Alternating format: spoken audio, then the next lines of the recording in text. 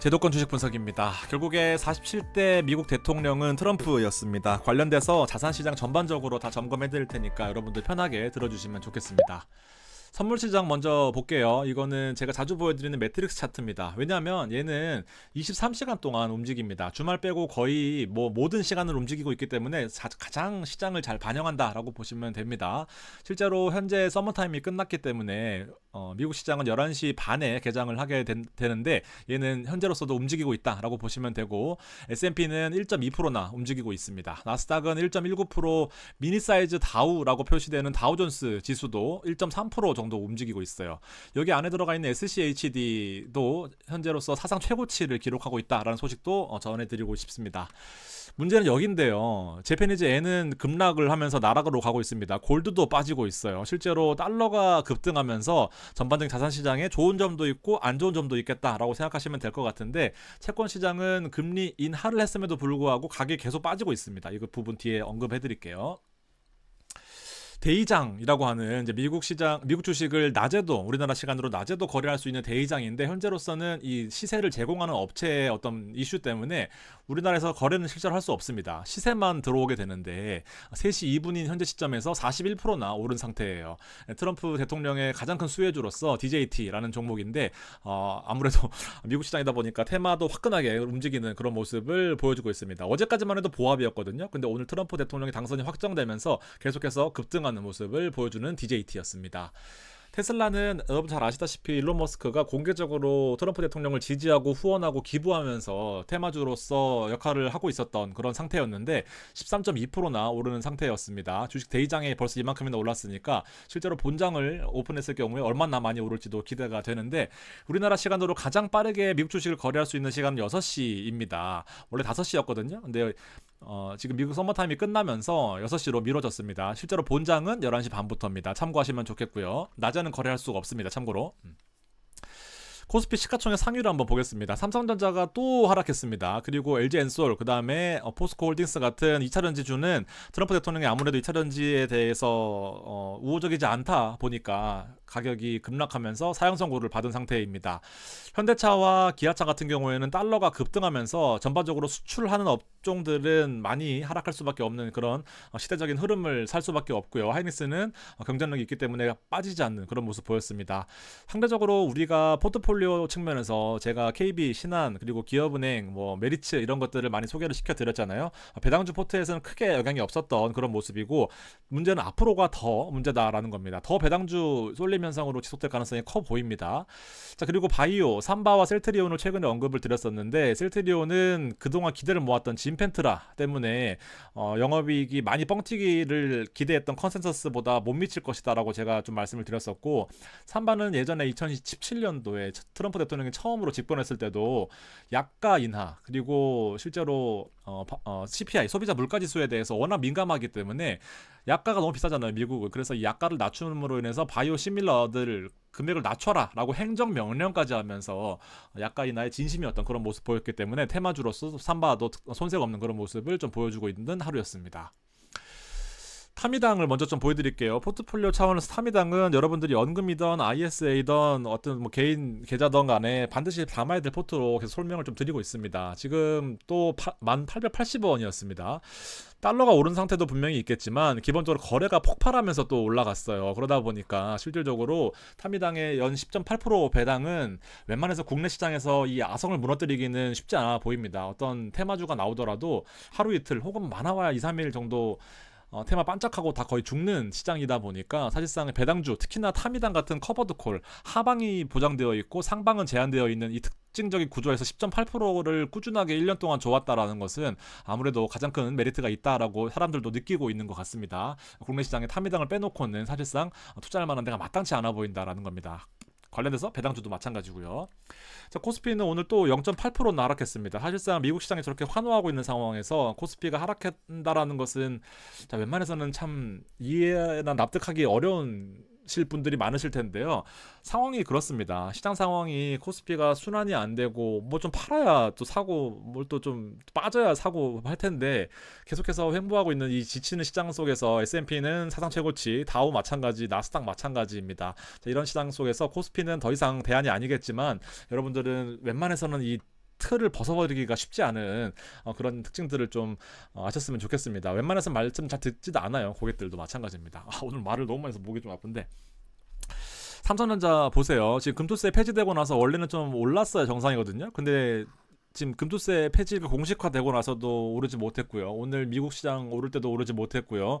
수출업종이라고 하기에는 또 조금 그런 부분이 있지만 수출업종 포함 전반적인 펀더멘탈 자체가 무너지면서 삼성전자는 다시 한번 5만 6천 원까지 떨어지는 그런 모습을 어, 보여주고 있는 상태입니다. 자 정말 팔기 힘들겠지만 이제서야 또 파시는 분들이 계실 거거든요. 악조건 속에서 또 매도하는 겁니다. 서로 서로 또 먼저 팔다 보면 5만 5천 원은 어, 초입기에 들어가지 않나 생각을 하고 있, 있는 저의 자신입니다. 수급적인 측면에서 보면요. 전기전자 업종이 완전히 외국인들이 매도세로 돌아섰습니다. 제조업 마찬가지고요. 자, 조금 조금씩 수급 들어와 있긴 한데요. 자, 보면 특징적인 종목들이 눈에 띄지는 않아요. 거의 수급이 없다시피 하고요.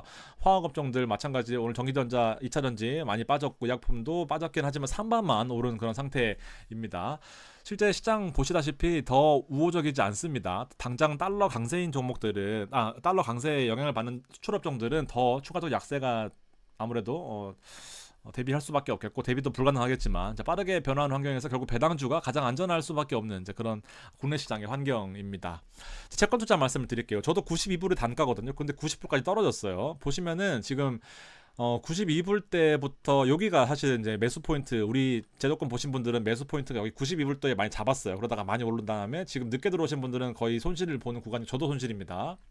채권 금리가 4.5%를 향해 가고 있습니다. 자, 사실은 자, 지금은 바라보는 포인트가 딱 한 가지입니다. 금리가 4.5% 올라간다라고 하는 것은 사실상은 좀 되게 금리 인하에 대한 그 기대감이 약화되어 있다라고 보시면 되거든요. 그래서 실제로는 채권 포인트는 딱 하나입니다. 자, 반드시 떨어져요. 아, 반드시 올라가요. 근데 반드시 올라가는 그 포인트가 옛날에는 금리 인하로 인해서 채권 가격이 올라간다라고 봤었다면 지금으로서는 지금 경기가 아무래도 팽창되어 있는 사실 팽창되어 있는 건 사실이거든요. 사실 지금 빅테크 종목 중에서도 테슬라 이외에는 어 어떤 그 세상을 바꿀 만한 확실적인 부분에 대해서는 사실 엔비디아 반도체로 사재기 한 다음에 한번 사놨으니까 고민해보자라는 수준이란 말이죠. 아마존 같은 경우에는 제가 추천 한번 드렸지만 아마존은 안정된 멤버십 그 구독료를 바탕으로 계속해서 성장하고 있는 물론 급등은 아니지만 안정적으로 꾸준하게 성장할 수 있는 그 매출 기반을 마련하는 회사고 MS, 마이크로소프트나 아니면 구글 같은 회사들은 경쟁 상대에 있으면서 서로 과열 경쟁이 이루어지고 있는 상태. 그다음에 어, 마이크로소프트도 마찬가지고 하여튼 그런 상황인데 아마존은 좀 별개였고 지금 200불 넘어갔습니다. 아주 신고가를 기록하고 있는 상황이고 52주 자 그러다 보니까 사실상 경기가 팽창되어 있다라는 느낌은 지울 수가 없어요. 실제적으로 보면은 이 정도 기대하고 있는데 주가는 더 많이 올라가 있는 상태잖아요. 그래서 한 번은 분명히 거품이 꺼질 때가 올 겁니다. 언제는지는 저도 모르겠지만 어, 이런 부분에 트럼프가 어떤 말, 어떤 행동을 하느냐에 따라 달라질 텐데 어, 요런 경기 팽창에 있어서 분명히 이제 과열론이 한 번은 나올 거란 말이죠. 그때 올라갈 것이 바로 채권이라고 생각합니다. 자 금리 인하에 더 이상 기대하지 기대감 좀 낮추시고 실제로 과부하된 경기가 급격히 냉각되는 그 시점이 올 텐데 이 부분이 이제 채권의 호재가 될 수 있을 것 같다라는 생각입니다. 실제로 실업률도 봐야 될 거고요. 소매 판매나 뭐 고용 지표도 봐야 될 거고 이런 여러 가지 경제 지표를 통해서 경기를 과열되어 있다라고 판단할 때 채권이 한번 튈 것이다라는 겁니다. 여러분 너무 걱정하지 마시고요. 꾸준하게 모아간다라는 생각을 하시면 좋겠습니다. 자 그리고 리츠입니다. 리츠도 여러분들 고민하실 분들이 많으실 텐데 지금 사실 5,100원 단가, 5,000원 단가면은요 지금 빠져봐야 4% 3% 빠진 거거든요. 근데 걱정하시는 분들이 많아서 제가 한마디 드리, 한 말씀 드리겠습니다. 리츠는 절대 안 망합니다. 그리고 지금 사실은 금리 인하가 앞서 보셨겠지만 달러가 강세인 측면이에요. 시장이 변하고 있잖아요. 제가 리츠를 아무리 광팬이라고 하더라도 이때는 금리 인하가 아주 눈에 보이는 그런 가시화된 시점이었고 하냐 마냐 하냐 마냐 하다가 지금은 달러가 급등하는 상황. 트럼프가 더 달러보다도 어 금리 인하보다 달러에 더 진심인 자국으로 다 모든 것을 모아오는 그런 상황이다 보니까 금리 인하를 big cut big cut 기대하기가 쉽지 않은 솔직히 냉정한 상황이단 말이죠. 자, 그래서 언젠가는 올라올 건데 지금 어떤 시점이냐? 쌀 때 많이 모아둬야 되는 시점입니다. 실제로 우리나라에서도 부동산이 경기가 활성화 될 거 아닙니까? 언젠가는. 언젠가는이라고 좀 무책임할 수 있지만 뭐 얼마나 많이 걸릴까 싶습니다. 건축비가 떨어진다라는 것도 물론 있겠어요. 왜냐하면 비용이 떨어진다라는 측면이잖아요. 근데 사업 수지를 보면은요. 자, 실제로 분양가 아니면 분양가에서 이제 사업 수지 매출 호실당 얼마의 매출 그리고 매출 가격이 나오고 인건비 그다음 인건비에 포함돼서 수선비 뭐 어, 그다음 캐펙스 여러 가지 뚝뚝뚝 있잖아요. 근데 이게 다 바로 비용이 다 연관이 되어 있어요. 그래서 건축비가 떨어지고 금리가 떨어진다라는 거 이외에도 이 모든 부분들이 다 연관이 되어 있기 때문에 밑에 실제로 마지막에 수익률이 얼마다라고 사업 수지를 보통 짜거든요. 건축물을 지을 때. 그래서 여러분들 리츠를 너무 걱정하시기보다는 나중에 한번 다뤄드리겠지만 어, 쌀 때 잘 모아둔다라는 생각으로 투자하시는 것이 가장 정신 건강에 어, 좋습니다. 여러분들이 삼성전자 들고 있었으면 30% 빠졌어도 욕 안 하셨을 거, 욕 하셨을 수도 있지만 뭐 그러려니 하시겠지만 이 4% 5%에 빠지는 거에 너무 연연하시지 않으셔도 된다라는 말씀을 드리고 싶었습니다. 자, 우리나라에 사실상 미래가 없다라는 부분이 미래가 불투명하다라는 부분이 바로 이런 부분이 아닐까 싶습니다. 오늘 이제 민주당에서 TF를 또 구성을 했다라고 합니다. 주식시장 활성화 내용 정리해놨는데요. 자, 금투세 안 한다고 공식적으로 발표하고 나서 거래세를 또 부활하겠다고 또 지랄하고 있습니다. 상법 개정하겠다고 하는데요. 주주환원과 이사회 충실 의무를 강조해보겠다라고 하는데 여기 써 있는 거 한번 보세요. 가관입니다. 소액주주들의 권리 보호 안 해도 됩니다. 주가 올려주면 돼요. 근데 집중 투표제 하고요. 지금 이제 몰표 때문에 사실 좀 분쟁이 있긴 한데 이사 분리 선출제 이사와 어차피 다 자기들끼리 다 해먹잖아요. 감사 선출 아는 사람 해가지고 너 해 30만 원 줄게 하는 게 현실이거든요. 감사는 반드시 있어야 되니까 주식회사에서. 이런 거 사실은 다 압니다. 이분들도 너 할래 그러면 할 거거든요. 근데 사실상 이런 거 말고 실제로 주식시장 파격적으로 수수료 낮추고 어, 투명하게 한 다음에 좀 주식 부양할 수 있는 그런 정책들을 좀 펼쳐야 되지 않겠나 싶은데 사실 저 같은 개미 입장에서는요 기업 임수 합병 과정에서 이슈 이런 것들 해결하겠다라고 TF 만들어 가지고 또 쇼하는 거 솔직히 별로 반갑지 않습니다. 근데 이런 내용들이 또 이런 내용들을 논의하겠다고 TF를 만든 거 보면 사실상 좀 멀었다라는 생각이 듭니다. 상법 개정은 좋죠. 뭐 잘 잘 하면 좋죠. 근데 이런 부분들이 현실적으로 좀 동떨어져 있는 그런 부분이 아닐까 생각이 됩니다. 자, 속슬도 말씀드리겠지만 지금 TQQQ 먼저 말씀드릴게요. 지금 9.3%나 올랐습니다. 사실상 너무 많이 올랐어요. 실제로 기술주가 이렇게 오르는 거 속슬도 마찬가지입니다. 여러분, 속슬은 제가 따로 방송해드릴 거라서 빼, 빼먹었는데, 자 하나만 어쨌든 트럼프도 좀 어떻게 튈지 모르고 방향성을 잡기 좀처럼 힘들기 때문에 내일 당장 빠져도 이상하지 않잖아요 솔직히 여러분들 냉정하게 좀 말씀드리면 근데 하나 확실한 거는요 미국의 가장 큰 핵심은 결국 조단위의 빅테크들에 대한 법인세 절감입니다. 법인세 절감. 우리나라는 법인세가 오히려 지금 최고 세율을 신설하면서 어 25%까지 신설된 상황이고 그래서 경쟁력이 떨어진 상황입니다. 미국은 올랐거든요. 보면은 이렇게 복잡하던 세율을 이때 18년도에 트럼프가 되면서 단일 세율 21%로 끝 이라고 발표하면서 주가가 많이 올랐었습니다. 자 그러면서 이번에 트럼프 대통령이 공략했던 게 뭐냐면은 자 실제로 법인세를 15% 수준으로 낮추자라는 거였습니다. 파격적이죠.